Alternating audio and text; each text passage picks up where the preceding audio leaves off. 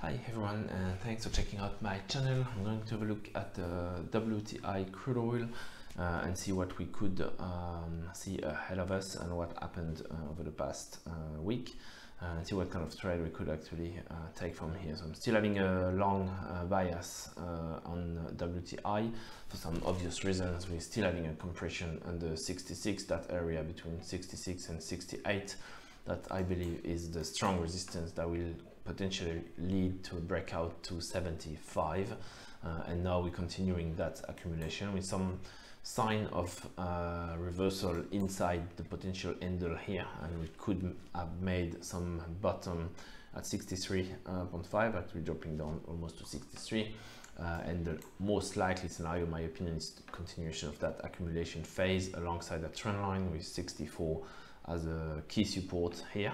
Uh, of course they could actually go differently and move here uh, before we do actually consolidate like this get a bit of a more proper um, pre-breakout uh, structure. But in any case um, I think that level will be very key. 63 should we actually break that level? Then we could imagine that that handle could actually expand a little bit a delay potentially the breakout. So here with that timeline uh, we are looking at something by the end of May for the breakout. Uh, of course could happen earlier but that would be the, the timeline that we could have uh, in mind. So that's the one hour chart. If we look on the four hours looks um, pretty much the same. We had that divergence on that move uh, failing to break above 66 there was a sell short signal uh, but it didn't actually push extremely low. It didn't actually reach the potential target um, a bit below 63 I did actually almost reach the target by clearing up the divergence here so that could be um, validated somehow. Uh, but yeah shorting that market I believe is a bit risky except if we start actually pulling much lower to 63 and see some some of a more uh, bearish uh, price action than what we've seen so far.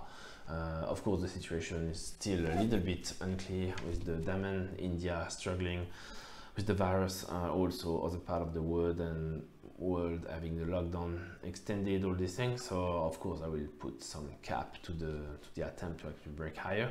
But we're still having the supply um, getting under constraint uh, not necessarily um, normally but it's kind of a forced reduction but i doubt they will actually open uh, and um, all the cut they actually made for production will actually get back online very quickly. So yeah, uh, if we look at the COT uh, report, that one is not extremely uh, bullish. It's rather neutral, I would say. Uh, the the move was quite uh, some sort of a consolidation of distribution between 66 and the close at 65, so not meaningful.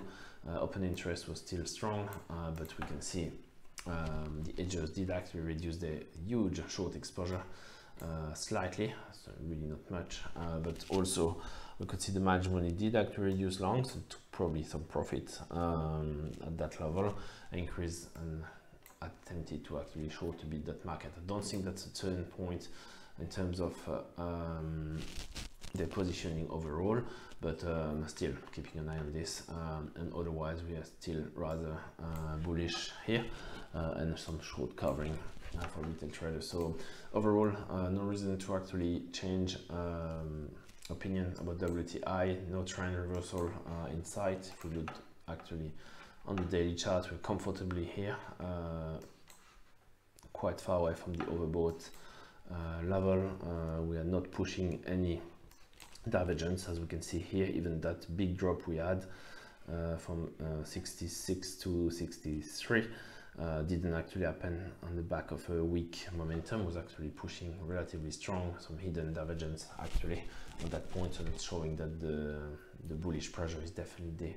So yeah that's about it. For the WTI um, wish you safe trading uh, and I speak to you soon. Cheers bye